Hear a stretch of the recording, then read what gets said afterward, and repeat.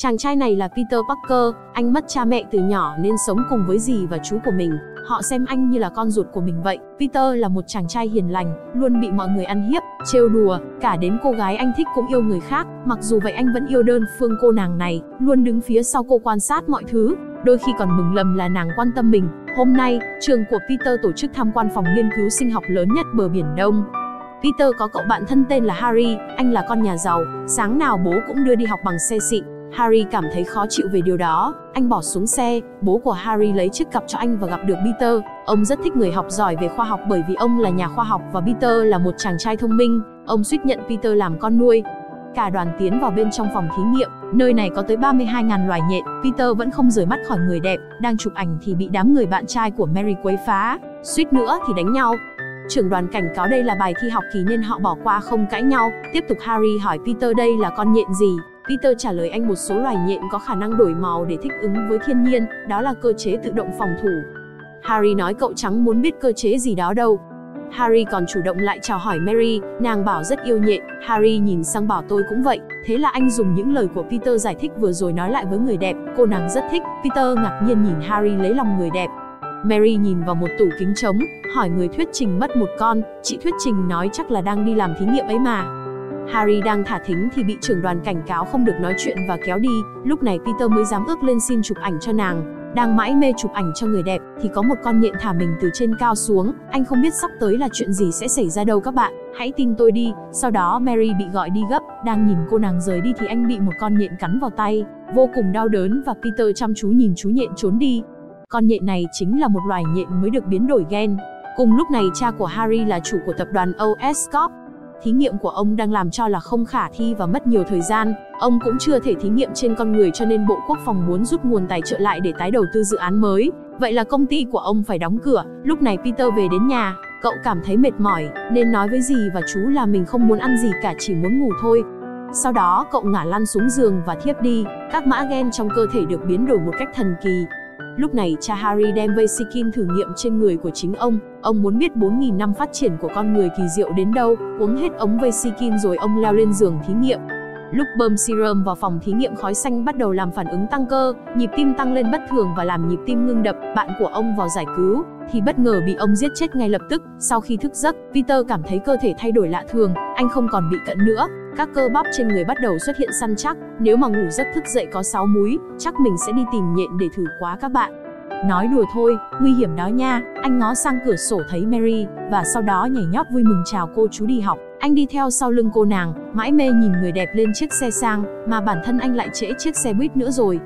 Tuy vậy anh đang cảm thấy có điều gì đó khác lạ với cơ thể của mình, Harry thấy cha của mình nằm trên đất nên lại đỡ ông dậy. Lúc này cô thư ký xông vào nói công ty bị cướp mất tấm lướt và bộ giáp, còn giết một vị tiến sĩ khác. Ông kinh ngạc trước mọi sự việc. Đang ăn cơm thì Peter thấy Mary đi ngang, cô nàng bị trượt té, cậu ôm choàng nàng và hứng tất cả đồ ăn cho nàng. Mary bắt đầu cảm nắng chàng trai, còn phát hiện ra Peter có đôi mắt màu xanh do trước đây anh đeo kính nên nàng không nhận ra.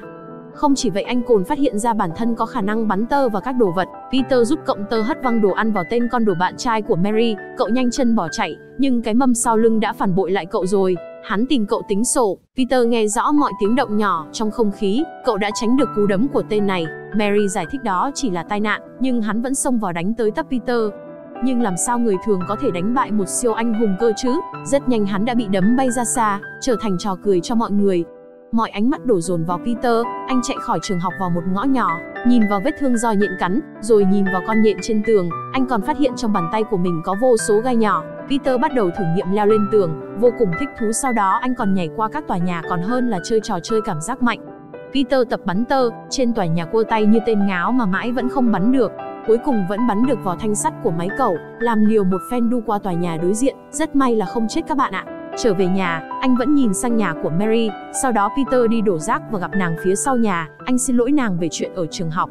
Nàng hỏi anh sau khi tốt nghiệp anh sẽ làm gì, Peter nói mình sẽ vào thành phố tìm việc trong ngành nhiếp ảnh kiếm tiền học đại học. Anh nghe được nàng cũng muốn lên thành phố trở thành diễn viên, anh cổ vũ nàng và khen nàng diễn rất hay. Anh đã khóc khi thấy Mary diễn cô bé lọ lem, Tuy là chuyện của năm trước, nhưng cho dù vậy thì đôi khi ta biết một con người như vậy và tương lai của họ ra sao. Anh không biết tương lai của mình sẽ ra sao, nhưng anh biết nàng sẽ tỏa sáng trên sân khấu. Nàng cảm động nhìn anh thì bị tên bạn trai hối thúc ra xe. Nàng rất thích chiếc xe đẹp này. Peter nhìn theo, anh bắt đầu lên kế hoạch để mua một chiếc xe lấy lòng người đẹp, anh tìm đọc trên báo. Vô tình thấy cuộc thi đấu vật giải thưởng là 3.000 đô la, đủ để anh mua chiếc xe lấy lòng người đẹp, thế là anh thiết kế bộ đồ cho mình, nào là dây lưng, biểu tượng, cần thêm màu sắc, cuối cùng cũng hoàn chỉnh, sau đó bắt đầu luyện tập bắn tơ, dì của anh nghe tiếng vỡ đồ lên xem, anh nói đang tập thể thao rồi đóng của lại, trước mặt Peter đúng là một mạng nhện rồi mà. Cô và chú của Peter cảm thấy lo lắng cho chàng trai mới lớn, nên chú quyết định nói chuyện với Peter về một số thay đổi gần đây của anh, không phụ giúp việc nhà, và một số thí nghiệm trong phòng, đánh nhau ở trường. Ông nói với Peter đây là thời gian con người ta sẽ thay đổi tính tình của phần đời còn lại. Hãy cẩn thận với những thay đổi này. Cậu nhóc ở trường đáng bị đánh nhưng không có nghĩa con có quyền đánh người ta. Hãy nhớ quyền lực càng cao, trách nhiệm càng nhiều. Peter nói chú đừng dạy đời cháu không cần làm như cha cháu. Ông gật đầu chấp nhận và nói sẽ đợi Peter lúc 10 giờ. Lúc này khan đài có một tên to con đang đánh những đối thủ khác, hắn vô cùng đắc ý, Peter đăng ký vào thi đấu. Anh nói mình tên nhện người, nhưng tới khi MC nói cậu lại là người nhện, mở tấm màn là cậu thanh niên ốm nhôm, khan giả xem thường cậu. Lồng sắt hạ xuống, cậu hoang mang nói tôi không có đăng ký đấu trong lồng sắt. Tên bự con xông vào tấn công Peter, anh nhảy lên tránh hắn, còn chê hắn mặc đồ phụ nữ, thừa lúc Peter lơ là hắn dùng ghế đánh liên tiếp Peter. Có người dùng thanh sắt chuyển cho tên bự để đánh Peter, nhưng xui cho tên bự là Peter là siêu anh hùng, thế là chưa đầy 2 phút hắn đã bị hạ, tên chủ cuộc thi chỉ trả Peter 100 đô la, hắn nói anh đã thắng sớm một phút vậy nên chỉ được nhiêu đó thôi. Nhân nào quả đó, tên chủ bị cướp xông vào lấy hết số tiền, Peter chứng kiến hết sự việc và nhìn tên cướp bỏ đi. Anh cười nhạo tên chủ đáng đời mà. Bước xuống phố thấy có đám đông bu quanh, anh phát hiện ra chú mình bị tên cướp khi nảy bắn và cướp xe tẩu thoát, anh nắm lấy tay của ông và gọi chú Ben là cháu đây.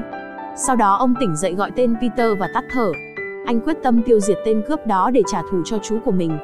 Anh lao qua các tòa nhà, thấy được chiếc xe của chú đang chạy trên đường, chính lúc này anh đã bộc lộ hết khả năng của bản thân. Tên cướp chạy vào ngôi nhà bỏ hoang, hắn bị Peter đánh tả tơi, anh nhận ra hắn chính là tên cướp buổi lúc chiều.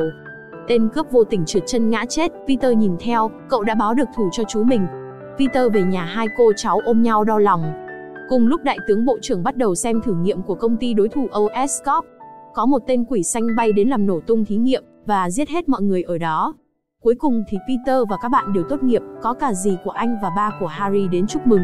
Ông thấy Peter lãnh bằng khen về khoa học, nên ông rất thích chàng trai trẻ có tài này. Harry thấy cô nàng Mary chia tay tên côn đồ, Tối hôm đó trở về nhà Peter đã khóc, anh nhớ về chú của mình, anh đã ăn nói trả treo khi chú dạy anh bài học quan trọng, dì an ủi Peter cháu sẽ làm nên chuyện lớn, và cháu sẽ không làm chú thất vọng. Cầm chiếc áo người nhện trên tay, anh nhớ từng lời của chú, quyền lực càng lớn thì trách nhiệm càng lớn. Bắt đầu cho chuỗi ngày trừ gian diệt bạo của người nhện. Người dân cảm thấy hạnh phúc khi có anh bảo vệ khỏi lũ xấu xa, các tờ báo bắt đầu săn tin của người nhện là ai, họ tranh cãi dữ dội về sự xuất hiện của anh, tại sao anh lại che mặt của mình kia chứ, có gì phải sợ. Chủ tòa soạn cho người đi săn ảnh của người nhện, trong lúc tìm việc Peter vô tình gặp được người trong mộng, anh gọi Mary lại chào hỏi, Cô nói là mình đang đi đóng phim, nhưng khi tên chủ quán xuất hiện gọi cô đi thu tiền, thì mọi chuyện đã rõ, cô chạy bàn tại tiệm bánh. Peter nói với cô không gì phải ngại cả, em có việc làm hẳn hoi. Cô dặn Peter đừng nói cho Harry biết vì Harry cho chạy bàn là việc hạ cấp. Anh an ủi cô một cách ấm áp, và Peter còn hẹn cô hôm nào rảnh đi ăn trưa cùng nhau. Peter đến nhà của Harry. Harry muốn nhờ bố của anh giới thiệu công việc cho Peter nhưng anh từ chối lời đề nghị giúp đỡ. Peter nói mình sẽ vào ngành nhiếp ảnh, bọn tội phạm trên phố nhanh chóng bị hạ gục bởi người nhện. Peter chụp lại những bức ảnh này đem bán cho tòa soạn. Hắn nói tôi là người viết báo cậu là người chụp ảnh, và hãy chụp nhiều ảnh của người nhện cậu sẽ được nhận vào làm. Peter gặp cô thư ký xinh đẹp lấy tiền ảnh, dường như cô gái này thích Peter. Hội đồng công ty OS Corp muốn sa thải cha của Harry. Ông tức giận quát lớn mình là người sáng lập công ty này. Sau đó ông cười bí hiểm nói tôi bị loại à, ngày sáp nhập của OS Corp cũng đến, Peter phát hiện người mình thầm yêu đang bên cạnh người bạn thân của mình. Anh ngạc nhiên vô cùng. Harry muốn hôn Mary, nhưng bị nàng từ chối. Sau đó Peter có dự cảm không lành. Từ xa một làn khói xanh xuất hiện, tên quỷ xanh xuất hiện, hắn ném bom làm nổ tòa nhà trung tâm lễ hội. Mary bị té ra thành lan can. Những mảnh bê tông rơi xuống. Peter nhanh tay bắn tơ nhện giải cứu người dân. Quỷ xanh tiếp tục ném bom vào nhóm người hội đồng quản trị. Sau đó người nhện xuất hiện đá bay hắn rơi xuống đất, tấm lưới đâm lủng quả cầu hơi, người nhện kịp thời cứu được một bé trai. Và giao đấu với quỷ xanh, tên này vô cùng hung hãn, hắn cỡi lên tấm lướt bắn liên tiếp người nhện. Người nhện đang chuẩn bị nhảy qua cứu Mary thì bị quỷ xanh tấn công, sau đó anh bắn tờ nhện vào mặt hắn, và phá hư tấm lướt, hắn đành bỏ chạy. Peter cũng nhanh tay cứu được người đẹp. và còn ôm cô ấy bay qua các tòa nhà. Sau đó thả nàng xuống, nàng muốn biết người hùng này là ai, anh nói mình chỉ là chú nhện thân quen trong gốc nhà thôi. Harry điện thoại hỏi thăm Mary nhưng dường như cô nàng đã yêu người nhện mất rồi. Anh xin lỗi Peter và nói chỉ vì cậu không làm gì nên mình mới theo đuổi Mary, còn hỏi tên ác quỷ kia là gì thế? Peter nói dù hắn là gì thì cũng cần phải có ai đó trừng trị. Lúc này tại nhà riêng, cha của Harry bắt đầu nghe thấy tiếng của ai đó. Thì ra bản thân ông chính là tên ác quỷ kia, từ lúc sử dụng vaccine mọi hành động của ông đều bị con người kia điều khiển. Hắn nói với cha của Harry là hắn ban cho ông quyền lực và mọi thứ chỉ có một kẻ đối đầu ta mà thôi, chắc các bạn cũng biết là ai rồi. Chủ tòa soạn nói với Peter và quỷ xanh là một bọn. Chưa nói hết câu thì quỷ xanh xuất hiện và hắn túm lấy chủ tòa soạn để hỏi tung tích của người nhện. Peter thấy thế liền biến hình, anh bắn tơ nhện vào cái miệng nhiều chuyện của nhà báo. Nhưng không may bị cu ie xanh hạ thuốc mê và đem anh đi. Hắn bắt đầu dạy đời người nhện như đứa con trai của hắn. Mita và là những người xuất chúng, hãy để đám đông kia tôn vinh chúng ta. Hắn cho Peter thời gian suy nghĩ và bỏ đi. Các mặt báo in tin bêu xấu về người nhện. Peter vẫn xuất hiện phái sau Mary như mọi khi. Anh đã đi đoạn đường xa đến tìm hỏi thăm về công việc nàng, anh còn đòi mời nàng dùng hamburger, nàng hỏi Peter sao anh quan tâm mình nhiều vậy, tuy nhiên anh nhút nhát từ chối mình không có. Nàng buồn bã rời đi. Peter thấy có mấy tên côn đồ bám theo sau nàng định dở trò đổi bại.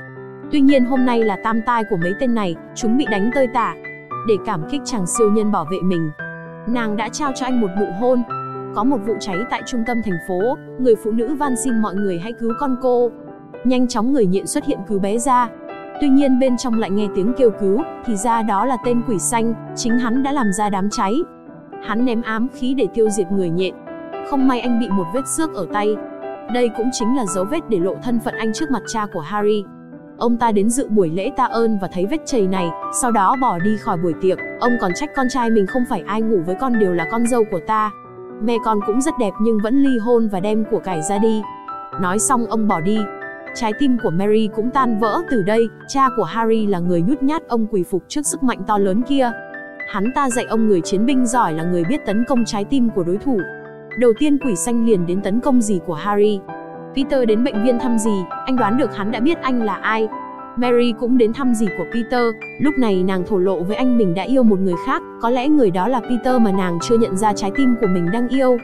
Peter nói lên những lời trong đáy lòng, khi nhìn vào mắt nàng dường như mọi thứ không còn bình thường nữa. Dì của Peter đã nghe hết câu chuyện và bà rất vui. Nàng nắm lấy tay của Peter, Harry mở cửa vô tình thấy cảnh này, Harry trở về nhà thuật lại mọi việc đã thấy với bố của anh, dì của Peter tỉnh dậy và bà rất hạnh phúc khi thấy anh nói lời yêu với Mary. Anh chợt nhận ra đây là nguy hiểm sẽ đến với Mary. Peter liền điện thoại cho nàng, nhưng người nhấc máy chính là quỷ xanh, anh chạy vội đến cứu nàng, tên quỷ xanh cho nổ đoạn cáp và bắt Peter chọn lựa giữa người mình yêu và bọn trẻ, anh sẽ cứu ai trước. Sau đó hắn thả cùng lúc cả hai xuống đất. Peter cứu lấy người mình yêu và nhảy sang nắm lấy dây cáp cứu bọn trẻ. Nhưng tên quỷ xanh tiếp tục tấn công anh, Peter bảo Mary hãy leo xuống, cô sẽ làm được hãy tin anh. Quỷ xanh đánh Peter khỏi dây cáp, nhưng anh vẫn cố níu lấy đoạn cáp. Sau đó người dân ném gạch đá vào tên quỷ xanh khiến hắn trao đảo.